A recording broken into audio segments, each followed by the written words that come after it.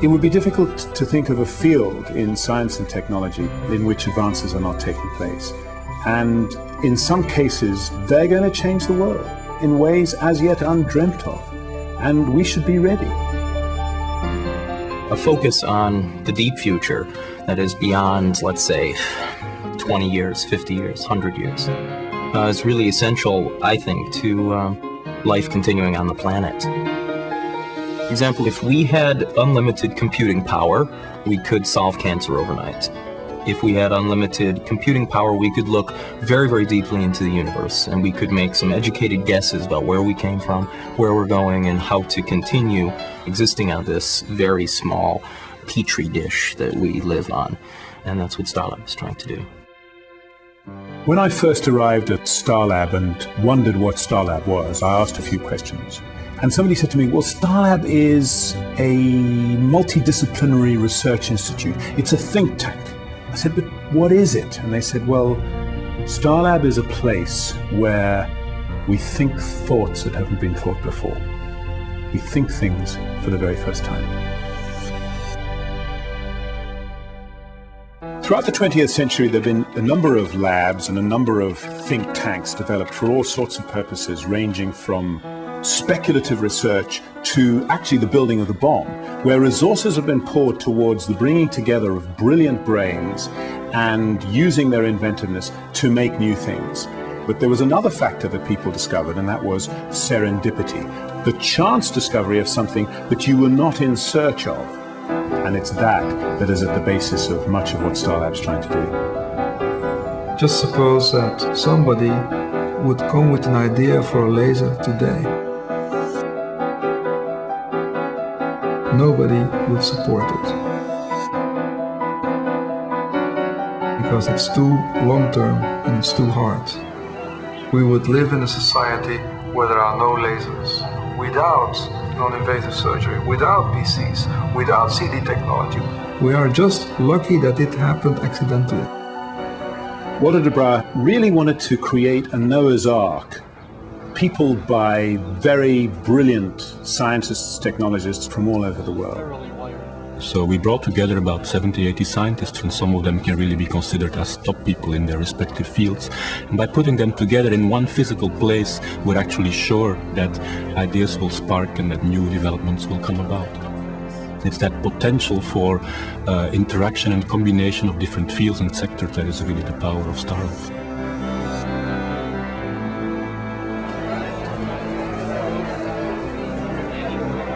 Starlab. curiosity of the data.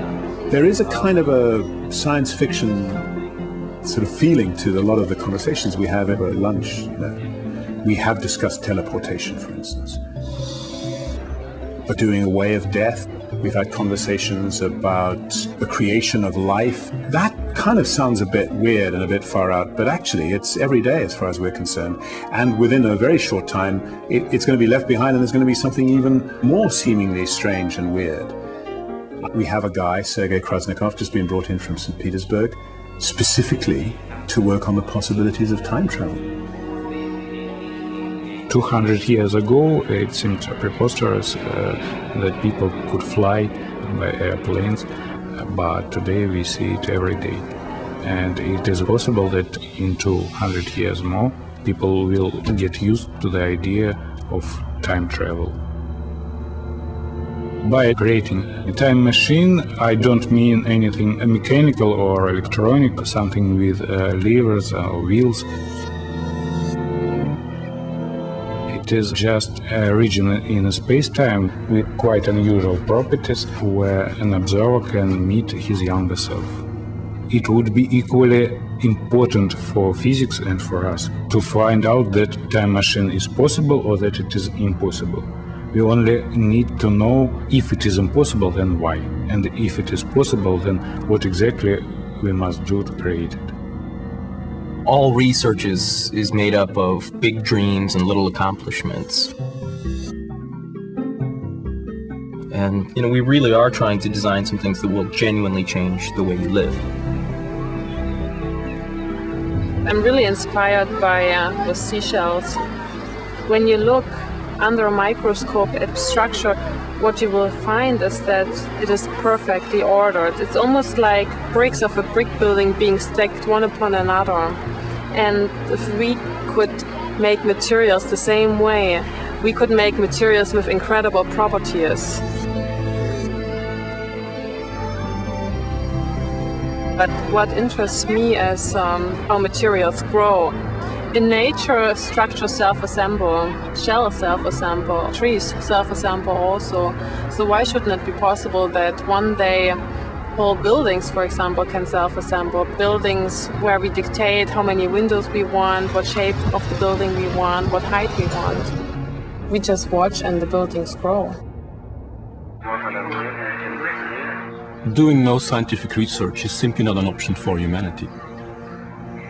Even if we would just live our lives and go on like this, we cannot avoid change. Change happens, the, the, climate changes, our environment changes, the whole dynamics of our society changes just by the fact of being there. A single cell in the human body is as powerful, if not more powerful, than today's computers. We have proved that this is for real, this is not science fiction. And therefore, what we need to do is understand how it's wired and try to rewire it according to our specifications. One can combine parts of the cell from plants or animals with microelectronics and create new, more efficient, more versatile bioelectronic devices. That tiny circuitry could be smaller than the diameter of your hair. One of the really interesting things about Starlab is we're working in so many real breakthrough fields. You know, these are fields that right now are really in their infancy. We're working, for example, in a project that would allow scientists to visualize the human genome and understand it in ways that have not been possible before. We're also working on clothes with built-in computers and sensors so that the clothes would actually have an awareness of the state of the person who's wearing them. Of course, also new drugs, DNA databases, quantum computation, nanotechnology. We're developing, you know, very inexpensive, very efficient solar cells. Faster than light travel. We're designing new ways for us to interface with the virtual world. And then, of course, genetics. I think it's crucial that the public understands science. One of the main reasons is because we're very afraid of what we don't understand. What's important is that human beings out there who aren't scientists find out about this stuff and that scientists express it as clearly and as comprehensively as they can. Increasingly, it's affecting people's lives very directly. The things that you eat, your health care, the way you work, the way you live, the way your children will live. Uh, these things are becoming increasingly entwined with science and technology. So I think the public really understanding what are the issues, it's one of the biggest goals of the 21st century. Today's children are probably the first generation that will be able to deal with the technologies that we now develop in a much better way than we can even imagine. A lot of people at Starlab have kids. We're parents. And I think that makes a difference.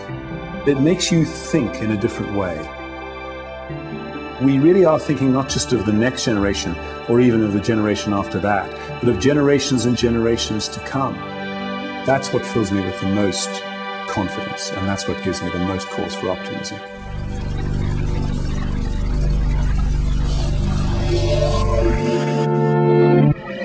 I want my kids to say, you know, Daddy was a Rolling Stone. You know?